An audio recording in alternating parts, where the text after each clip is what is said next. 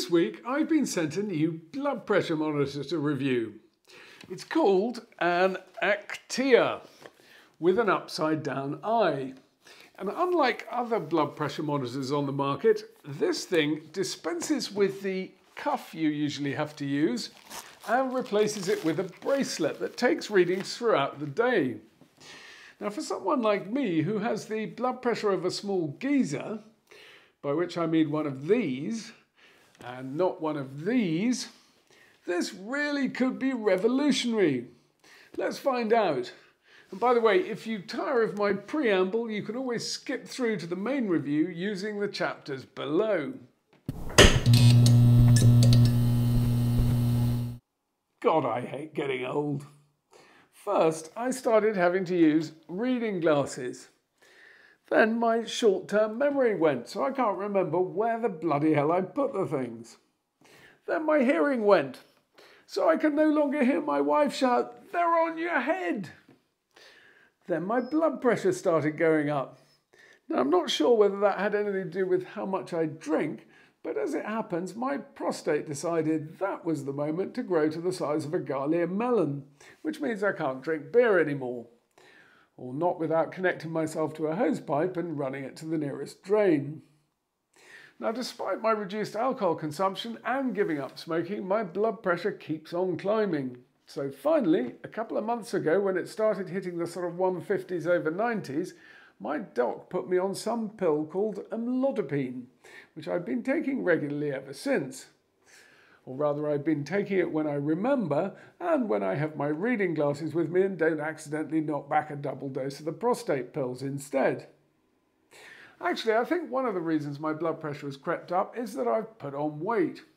For every kilo you put on, they say your blood pressure can go up by about a millimetre of mercury.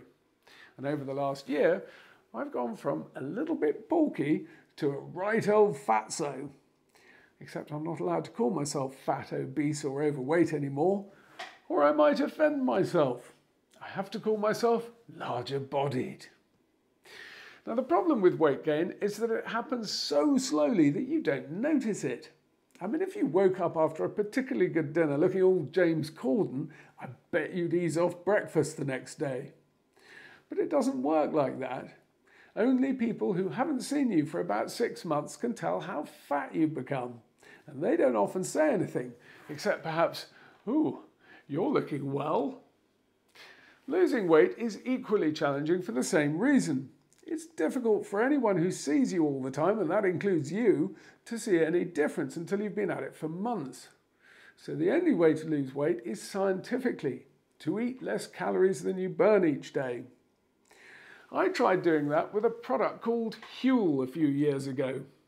It's a nutritionally complete powdered food that makes it easy to control your calorie intake. The problem was that my wife was emphatic that our two young children needed chocolate puddings and biscuits and cake, and despite her best attempts to hide them, it's really a bit like trying to hide heroin from a smack addict. No chance. By six in the evening, I was so hungry I would have fought my way past a marauding pride of lions to get at the cookie jar. So here we are. At 95 kilos, I'm about 10 kilos overweight. Seems like a good time to go back on a diet. Now for this test, I'm going to eat 1,000 calories a day for 10 weeks. And at the end of that, we'll see where I would have come in a competitive dieting race against Nigel Lawson, Gordon Brown and Tom Watson. Stiff competition. And we'll also see what effect it has on my blood pressure. But first, let's see what this new Aktiia blood pressure monitor records today and tomorrow and how the readings compare with the Withings. First of all, I'm going to take a reading with the Withings cuff.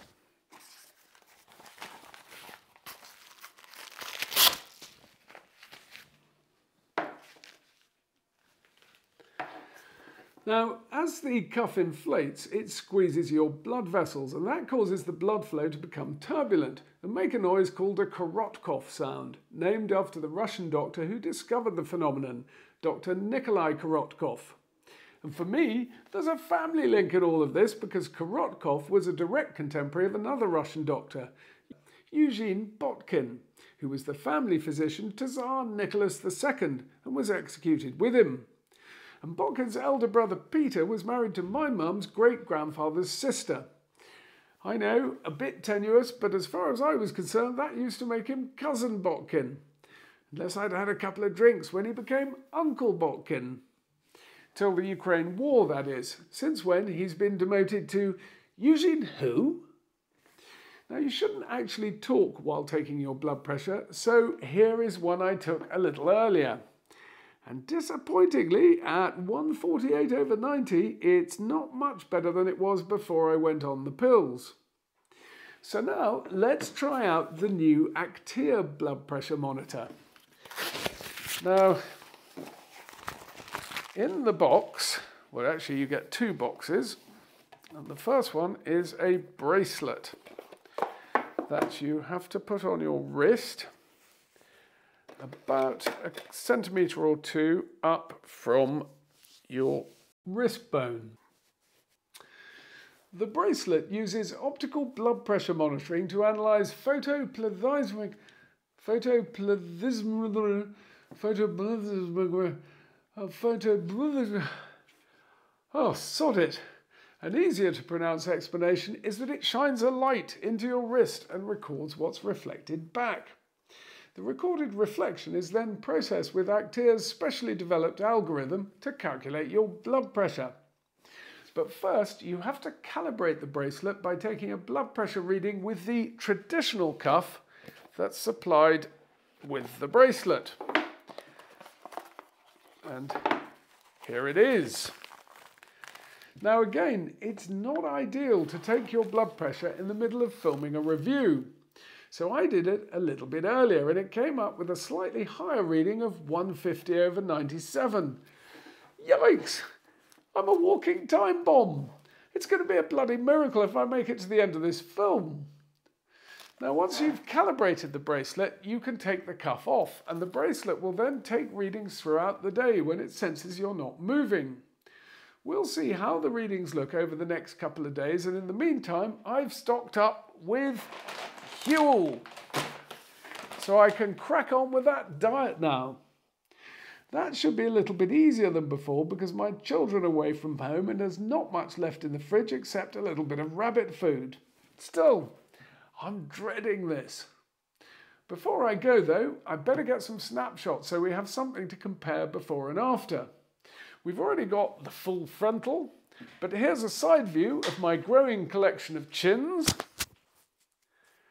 And here's a shot of my unborn child. That's about three months.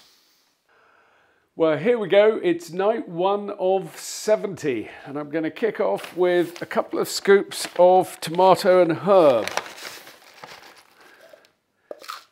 Oop. Now, at least one thing that can be said about the Huel diet is it does make it much quicker to make supper.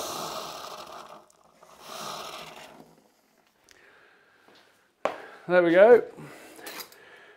That's supper all made. Ooh, I know it doesn't look that appetizing, but actually it does taste rather better than it looks. So for the next 10 weeks, I've got uh, tomato and herb, sweet and sour, spaghetti carbonara, uh, what's that? Mac and cheese, uh, vanilla, cinnamon swirl, and chicken and mushroom. And we'll see what I look like by the end of all of that. Well, it's day three and I've already lost a kilo. But I have a nasty feeling that's going to be the easiest one. I mean, I could lose a kilo just having a good crap in the morning. I think the other nine kilos might just prove a little bit more stubborn. Well, it's now day 25 of monitoring my blood pressure with the Aktiia bracelet whilst eating no more than a thousand calories of Huel each day. And the first thing to say is that there really isn't very much to say at all about the Aktiia system. It just gets on and does what it's supposed to do silently, unintrusively, and reliably. Pairing with the app and calibrating the bracelet was a doddle and thereafter you just open the app and pull down on the graph to get your latest readings. There's a graph of the day's readings, so you can see what a blazing argument with your wife does to your blood pressure. Then there's a view of the week's readings, which will give you a better idea of your blood pressure at your stage in life. Then there's a month view where you can start to see the effect of lifestyle changes on your blood pressure.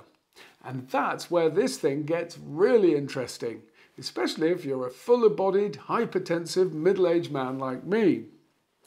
Now, I have to admit, I have eaten normal food twice so far when I went for some supper with friends. I just couldn't bring myself to sit there drinking Huel whilst everyone else tucked into a nice leg of lamb and a glass of red. Still, I'm about three kilos down with seven to go. Now, I wouldn't say there's been any noticeable change to my physique. I've still got three chins and I still look about three months pregnant. But something else rather remarkable has happened. According to the Aktiia app, my blood pressure seems to be dropping. Look, on my first full day of testing, it was running at 145 over 92, with a high of 153 over 96. But in week two, it had dropped a little bit to 144 over 92. And then in week three, it was down a little bit more to 143 over 91. Okay, it's still nothing to get too excited about. After all, the readings are all still displayed in a rather fetching stage 1 hypertension red. But then in week 4, on the 15th, my blood pressure dropped to an average of 139 over 89, which is no longer hypertension, it's just elevated. What's more, whilst I was sleeping, my blood pressure went into the green. Look, twice, two green dots. And the bigger picture is even more exciting. I mean, look at the month view. Call me a statistician, but that looks very much like a trend to me. And if I keep this up, I think I should be able to get my blood pressure back down to the 130s over 80s, which might even mean I can throw away the pills.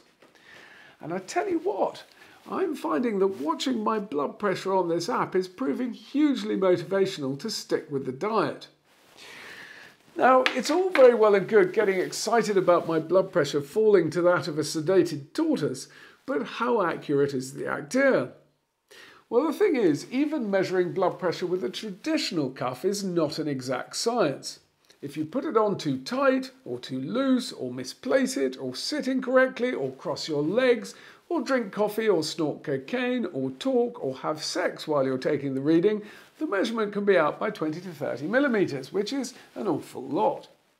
And that's not to mention white coat syndrome, where just the sight of a stethoscope puts some people straight into stage 2 hypertension. Still, Aktiia says that in a trial, its system was found to measure blood pressure with a similar degree of accuracy as cuff systems made by Omron and Withings.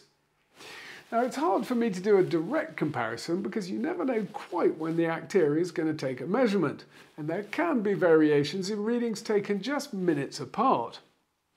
Still, when I took the initial reading, they were both at about 150 over 90 something, and now they're both showing late 130s systolic and the diastolic starting to drop into the 80s. So it would appear that my downward blood pressure trend is being picked up by both devices. So here we are. After three weeks, I've moved from stage one hypertension down to just high blood pressure. Now, it's difficult to know what has been the most important factor in that.